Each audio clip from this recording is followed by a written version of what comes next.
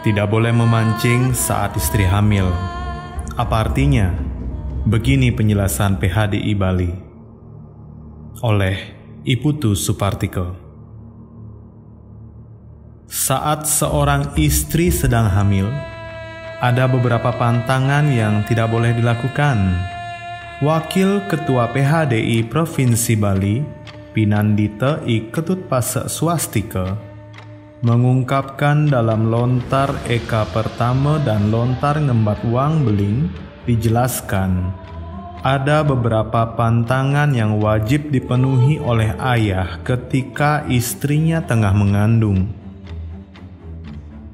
Pantangan tersebut yaitu tidak boleh mencukur rambut, tidak membangun rumah, tidak merakit peralatan kayu, menggulung mayat, menikahi wanita lain atau memadu, dan menengok kematian yang diakibatkan salah pati. Selain itu, ada juga larangan memasang pagar, membuat telaga, dan lainnya. Itu pantangan untuk suami. Sedangkan bagi istri yang sedang hamil tidak boleh menyaksikan pernikahan menengok orang meninggal, menyembah orang yang meninggal, dan menjual binatang peliharaan. Menurutnya, yang paling penting dari semua pantangan tersebut adalah pola pikir yang dilatih agar selalu menjadi positif. Semua pantangan itu bisa diibaratkan sebagai latihan untuk pikiran. Juga, bersifat proteksi agar tanpa disadari pikiran menghasilkan energi lain yang positif. Selain itu, ada juga pantangan tidak boleh menanam turus dan tidak boleh memancing.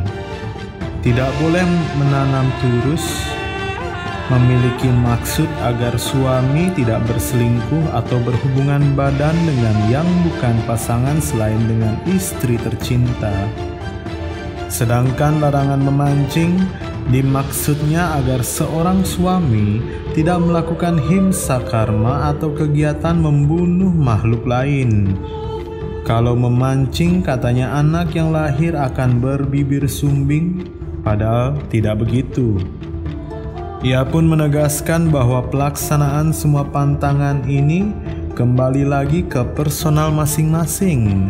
Apabila baik, hal ini bisa diterapkan, akan tetapi jika tidak memungkinkan, lebih baik tidak melakukannya. Itulah alasan kenapa tidak boleh memancing saat istri hamil.